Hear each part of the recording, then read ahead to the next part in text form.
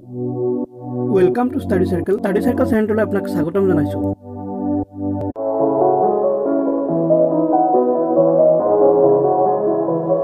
আজি ললিত কলা একাডেমী আৰু ইছৰোৰ ওপৰত কেইটামান গুৰুত্বপূৰ্ণ প্ৰশ্ন আলোচনা কৰিম।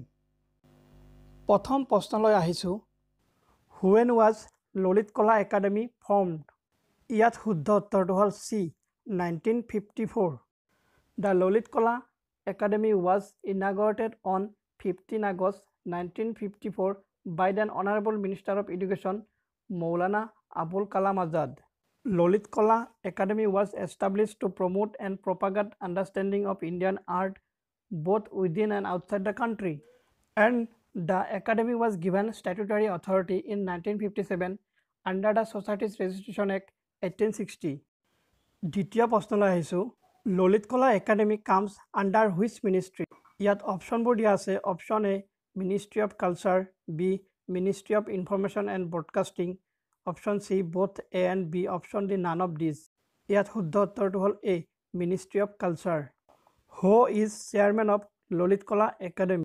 ইয়াত শুদ্ধ উত্তৰটো হ'ল এ উত্তম পাচাৰ্ণে ললিত কলা একাডেমীৰ অধ্যক্ষ হ'ল Uttam Pacharne where is the headquarter of Lalit Kala academy ইয়াত শুদ্ধ উত্তৰটো হ'ল C new Delhi the academy has regional centre called Rashtriya Lalit Kala Kendra at Lucknow Kolkata Chennai Garhi in new Delhi Shimla and Bhubaneswar Lalit Kala academy is devoted to the promotion of ইয়াত অপশ্যনবোৰ দিয়া আছে dance poetry music art ইয়াত শুদ্ধ উত্তৰটো হ'ল D art national exhibition of photography and art is conducted by ইয়াত শুদ্ধ উত্তৰটো হ'ল A Lalit Kala academy who conferred sixty first annual Lalit Kala awards on fifteen meritorious artist ইয়াত শুদ্ধ উত্তৰটো হ'ল A Ramnath Kovind who was not the recipient of Lalit Kala academy award for the year two thousand twenty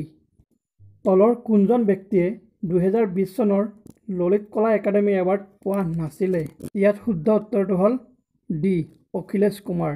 Lalit Kala academy award পোৱা ব্যক্তিবোৰৰ নামবোৰ হ'ল Anup Kumar Manjukhi Gopi David Malakar Devendra Kumar Khare Dinesh Pandya Farooq Ahmed Haldar Hariram Kumbhawat Keshari Nandan Prasad Mohan Kumar T Ratan Krishna Saha Sagar Vasant Kamble Satinder Kaur Sunil Thiruvayu Yashpal Singh Yashwant Singh. এতিয়া ইছৰোৰ ওপৰত কেইটামান গুৰুত্বপূৰ্ণ প্ৰশ্ন আলোচনা কৰিম।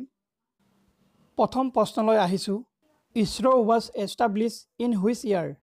ইয়াত শুদ্ধ উত্তৰটো হ'ল fifteen August nineteen sixty nine. ISRO establish হৈছিল ফিফটিন আগষ্ট নাইনটিন ছিক্সটি নাইনত।